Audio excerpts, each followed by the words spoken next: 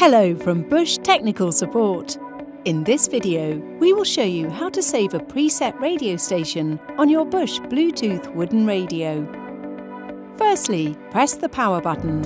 Then, using the Tune Select dial, scroll to which radio station you would like to save as one of your preset stations. Press the Tune Select dial in to confirm your choice. Once you have done this, hold in the preset button until the preset store can be seen. Scroll using the Tune Select dial to choose which number you would like to save the radio station to.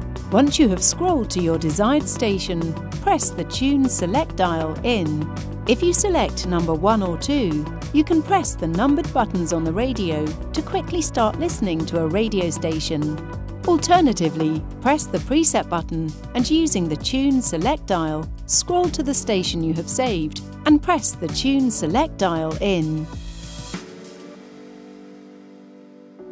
For further information, please visit www.bush-support.com.